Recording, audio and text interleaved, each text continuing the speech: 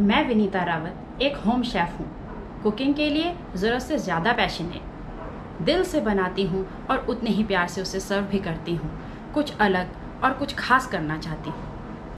मेरे लिए खाना एक ज़रिया है अपनों को प्यार दिखाने का, उनकी केयर करने का और अपने घर आए मेहमानों की कदर करने का। इस कोर्स के साथ मेरा एक्सपीरियंस बहुत अच्छा जा रहा है। मैं पहले से ज़्यादा कॉन्फिडेंट हो चुकी हूँ। मेरी बहुत सारी कन्फ्यूज़न यहाँ दूर हुई है, जैसे बटर चिकन और चिकन टिक्का मसाला की ग्रेवी में क्या फ़र्क होता है। रोगन जोश की असली रेसिपी मुझे यहाँ मिली है। बिरयानी बनाते समय हमें कौन कौन सी बातों का ध्यान रखना चाहिए? कौन सी टिप्स हैं, कौन सी ट्रिक्स हैं, जिनसे हमारा खाना हमेशा अच्छा बनेगा? और ये सारी टिप्स एंड ट्रिक्स खुद संजीव सर के थ्रू हैं। आजकल घर के खाने में संजीव कपूर इफ़ेक्ट आ गया है। कुछ दिन पहले मैं सब्ज़ी बनाने लगी तो पता चला घर में सारी सब्ज़ियाँ थोड़ी थोड़ी थी।